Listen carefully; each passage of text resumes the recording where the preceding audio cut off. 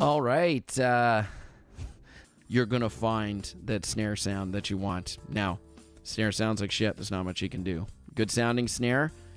the snares, when you get them wrong, and trust me, I've gotten a lot of snare drums wrong. Um, I like to come in from behind the snare. Boom, that's going to open your snare right up. Okay. You're like, oh wow, wow, it's so thick and fat around where the snare is. That snare needs to it needs to be a lot thicker. So if you're going to gate your snare, that's a whole other that's a whole other scenario. Um, which I mean, let's be honest, gating snares is something you probably want to do anyways if you don't want if you're trying to combat my snare in this recording throw a gate on the snare. Either way grouping the snares it's funny with snares because you know when you get it right yeah some people notice. They sound great on snare drums. So uh drummer's most likely going to get his snare and maybe some of the, the snare okay? Once he's got the kit or she's got the kit all set up. So uh yeah you know, snare mics. Uh, so, uh, what am I doing lately to uh, help in the battle against the snare drum?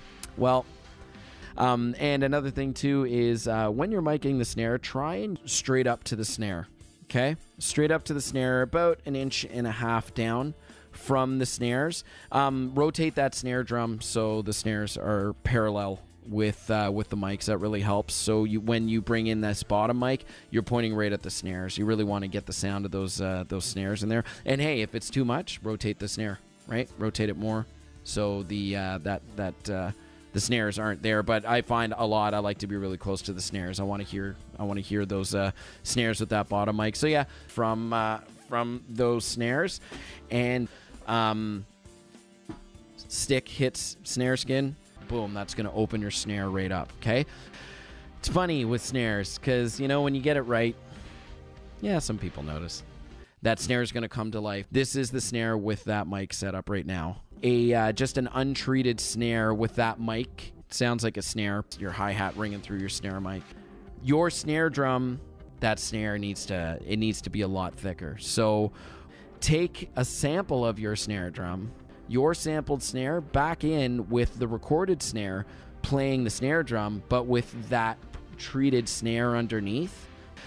It's funny with snares because, you know, when you get it right, yeah, some people notice.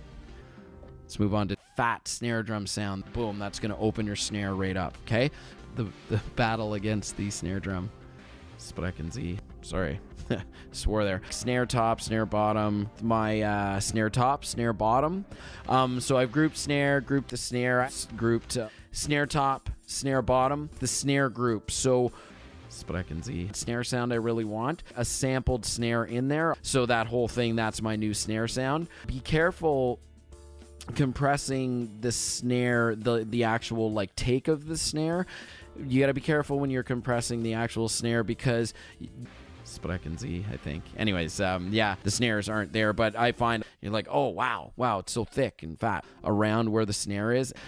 It's funny with snares because, you know, when you get it right, yeah, some people notice.